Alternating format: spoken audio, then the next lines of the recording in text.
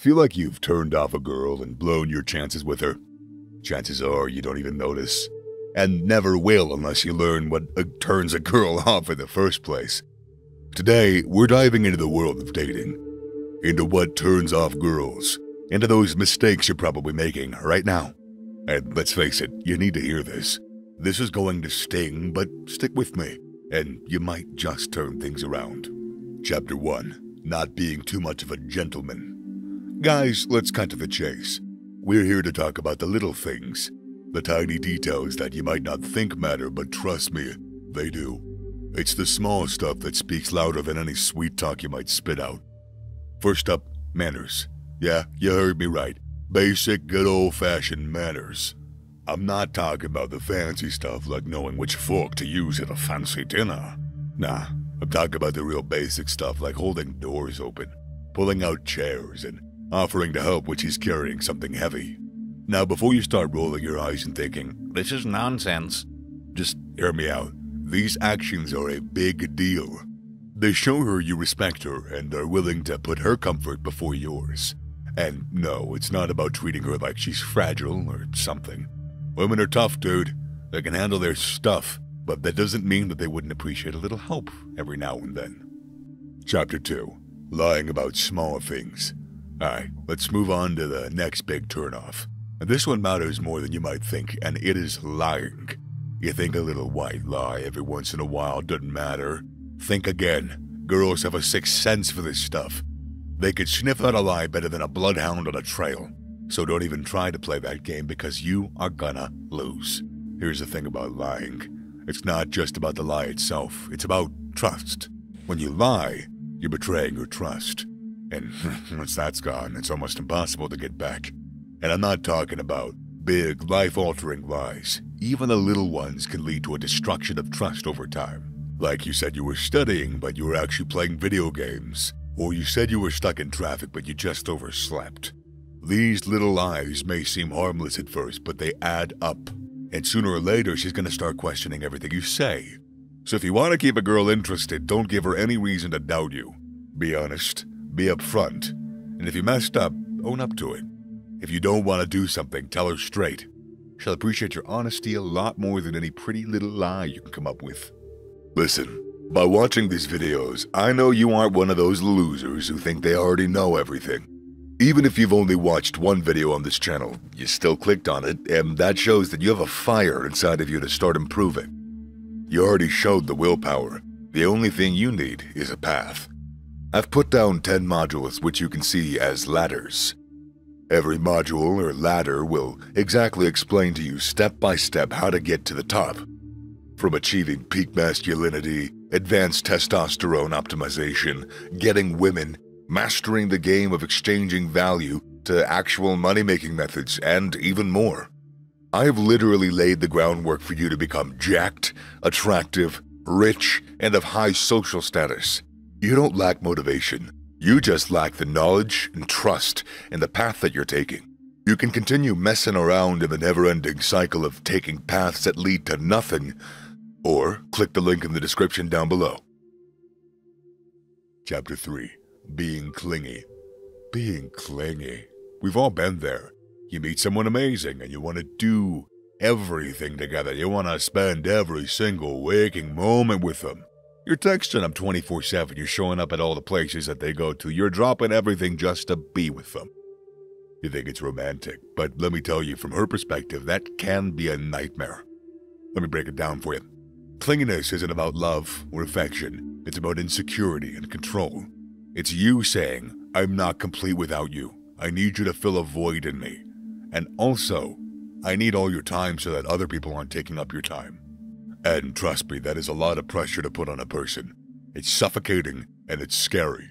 She is her own person with her own life and she needs space to breathe, to be herself. If you're constantly crowding her, if you're constantly needing her attention, she's going to feel trapped. And what do we do when we feel trapped? We escape, we run. So if you don't want her to run, give her space. Let her miss you. Let her have her own life and have you focus on having yours. It's okay to be apart, to do your own things. In fact, it's, it's healthy. It shows that you're secure in yourself and in the relationship. It shows that you trust her. Chapter 4 Lack of Ambition. Look, you don't gotta be a millionaire or a CEO to be seen as ambitious. It's more about your attitude towards life. Are you the guy who's content with a dead end job, spending his days gaming, or aimlessly wandering through his life? Or are you the guy who's always striving, learning, growing, working towards being better? Guess which one the girls prefer? See, ambition isn't just about money or career, it's a reflection of your character. It says that you're motivated, you're determined and focused. You're not just content to float along, you want to make a mark, make a difference. If she shows you've got drive, that's good. Drive is sexy. When you lack ambition, you're basically saying, I'm okay being mediocre. And believe me, mediocrity is a big, oh, it's the biggest turnoff there is. Makes you look lazy, uninteresting, uh, uh, unreliable. No girl wants to attach herself to a sinking ship. Chapter 5 Not taking care of your appearance. Now, don't get me wrong, I'm not saying you gotta be a fashion model or spend hours preening in front of the mirror, but you do gotta take basic care of yourself. You know, things like regular showers, clean clothes, decent haircut. I mean, let's be honest, would you be attracted to a girl who didn't brush her teeth, didn't comb her hair, who wears stained, wrinkled clothes? I don't think so. Same goes for girls. Appearance matters, man. It's first thing people notice about you. It's how you present yourself to the world. When you don't take care of your appearance, it's like saying, I don't care about myself, so why should you? Take some time each day to look after yourself. Brush your teeth, comb your hair, wear clean, fitting clothes. It doesn't take much, but it makes a huge difference. It shows that you respect yourself, and that makes others respect you too. And believe me, girls notice these things. They notice the guy who's clean, neat, takes pride in his appearance, makes you stand out, makes you attractive. It shows that you're a man who's got his act together, and trust me, that is a turn on. Chapter 6 Eating like a pig. Sounds pretty simple, but you'd be surprised how many guys get it wrong. When you're at a restaurant or even just munching a sandwich at a park, remember that you are not alone in the forest, you are in public, you are being watched. Shoveling food into your mouth like you're in a hot dog eating contest? No. Talking with your mouth full? Hell no. Not using your napkin? Dude. These aren't just bad manners, they're signals to any girl around you that you have no respect for those around you. And let's be honest, it's gross. No one wants to sit opposite of someone who's munching, crunching, um, um, um, slurping their way through a meal. It's not appetizing, it's not cute, and it's a major turnoff. So slow down, close your mouth, and remember your manners. Believe me, she'll thank you for it. Chapter 7 Not Having Diverse Activities. Next up, not having diverse activities. You might be the world's biggest football fan, or you might spend every free moment gaming. That's cool, man. It's real cool. Everyone's got their passions, but is that all you do? If you don't have any other interests, any other activities, that's a problem. That's a big problem. You see, girls are attracted to guys who are interesting, who have a range of hobbies, who can talk about more than just one thing. When you have one interest, it makes you seem one dimensional, predictable, even boring. And uh, it goes without saying, no girl wants to date a bore. Chapter 8 Being Sad or Depressed. Now, on to the last habit constantly being sad or depressed. Life's tough, sure. There will be ups and there will be downs. Moments of self doubt and days where you feel like the whole world's against you, but Listen up. It's crucial that you don't let these negative emotions become your identity. Constantly moping around, sharing sad posts on social media, going on and on and on and on and on about how hard everything is. It's just not attractive. It's draining. It sucks the life out of people around you. You think girls want to be with a guy who's always down in the dumps? Nah, they don't. They want somebody who's positive, somebody who can lift them up, and not pull them down. You can scoff, ignore it, continue on your merry way, or you can take it on board, use it as a wake up call, start working on becoming a better version of you. Remember, nobody's perfect. We all have our flaws, our bad habits, but the difference between those who win and those who lose in the game of love, in the game of life, is the willingness to acknowledge these flaws and the determination to change. Chapter 1 Poor Grooming Habits. Alright, let's cut to the chase. Poor grooming habits are more than just a superficial problem. They are a loud, glaring message about who you are, what you prioritize. When you don't take care of your appearance, it showcases a lack of self respect. You might think that you're being casual, but it comes off as you don't care about even the most basic of self care. If you show up smelling like yesterday's workout, it isn't just unpleasant, it is thoughtless. It's about signaling that you value the time and company of those around you. Think about it. She's made the effort to present her best self when you can't be bothered to do the same. Doesn't exactly scream equality or mutual respect. And then there's the maturity angle. Mature individuals understand the importance of cleanliness and presentation. You wouldn't be too happy if the girl that showed up to the date had unwashed hair and smelled awful, would you? That exact same thing applies to you. Now, before you start whining about that's too much work, stop. This is basic. It's bare minimum. If you can't handle this, well, then you have many, many other things to reevaluate. Chapter 2 Neediness and Clinginess. Let's get this one thing straight. Bombarding a woman with constant messages and clinging on to her like a lifeboat is like admitting that you don't have anything better to do. Neediness is not cute. It's cringe-worthy. Thinking you're showing affection by becoming her shadow? No. It's just making you look desperate. Clinging on to someone is not a sign of love. It's a sign that you're missing something in your own life. No one wants to be the solution to your boredom. That's not the kind of puzzle piece that she's looking for. Here's the reality. Listen close. A woman wants to see that you have your own stuff going. You got your own stuff going on, your own interests, friends, a life that doesn't revolve around her. It's not about playing hard to get. It's about showing that you're a whole package, not a half person looking for a sidekick. So instead of being her personal assistant, get a grip on your own life, have hobbies, hang out with your buddies, and let her have her own space too. A relationship should be a partnership, not a one man show. Show her that you're secure and you're complete in yourself, that is what's truly attractive. Chapter 3 Arrogance and Self Centeredness. Alright, let's talk about something that's not winning you any points arrogance. Yeah, sure, confidence is cool, but if you're using every conversation as an opportunity to inflate your own ego, you are walking dangerous waters. Not a single soul that has lived or ever will live wants to listen to a self absorbed monologue about your accomplishments, possessions, or how awesome you are. Seriously, you really think she wants to listen to that? Sure, if she asks directly about some particular achievements, go right ahead. But if that's all you can talk about to keep the conversation going, you're such a lost soul. She isn't taking you to the next stage. Here's the real deal. Genuine confidence doesn't need to shout. It doesn't need to constantly remind others of how great it is. It's, just, it's a classic thing of uh, even Stephen Hawking says, the number one sign of unintelligence is somebody who boasts about their intelligence. It's a paraphrase, but it's about the point. It's about showing interest in her, you know, asking about her experiences, finding common ground to connect on. It's not a one way street when you're the only one talking. And trust me, no one cares about how many fancy cars you own if you can't even hold a decent conversation. Chapter 4 Being Too Aggressive. Let's put it simply aggression is a buzzkill pushing boundaries, invading personal space. These are actions that scream, run away, to any sensible woman, and they will run for the hills.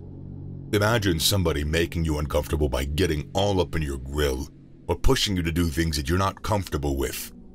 Not a pleasant thought, right? Well, guess what? She's not into it either, bud. Being overly aggressive doesn't make you look assertive or dominant. It makes you look like a jerk who doesn't care about her feelings. So, get a grip. Focus on creating an atmosphere that's relaxed, enjoyable, respectful. Show that you can respect her boundaries and make her feel comfortable. No woman is going to want to spend time with you, let alone be with you, if she doesn't feel comfortable being around you in public. Chapter 5 Ignoring Boundaries. Alright, let's set something straight right away. Boundaries matter. It's not just some buzzword. It is a fundamental aspect of treating someone with respect. And don't start frowning on that word. Respect. This deal is what gets you women worth having. Ignoring her boundaries is like slapping her in the face. Whether you're crowding her personal space, digging into topics she's not ready to discuss, or pressuring her into something she's not comfortable with, you are sending out vibes of insensitivity and zero consideration. Think about it this way You wouldn't want someone stomping all over your emotional and physical space, would you? Well, guess what? She doesn't want that either. Crossing her boundary shows you're more interested in getting your way than in treating her like a human being with feelings. So, if you want to be more than just a blip on her radar, start paying attention to her signals. Listen when she talks, respect her personal space, and treat her feelings with care. It's about creating an atmosphere where she feels respected, understood, and valued. Not a single woman on this planet will stick around for someone who bulldozes over her comfort zones. Chapter 6 Oversharing Too Soon.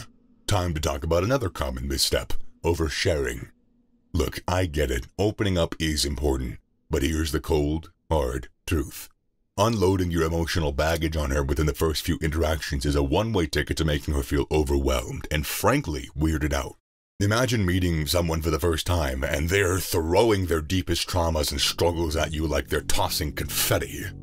Yeah, it's not exactly the smoothest introduction, is it? Well, guess what? She feels the same way.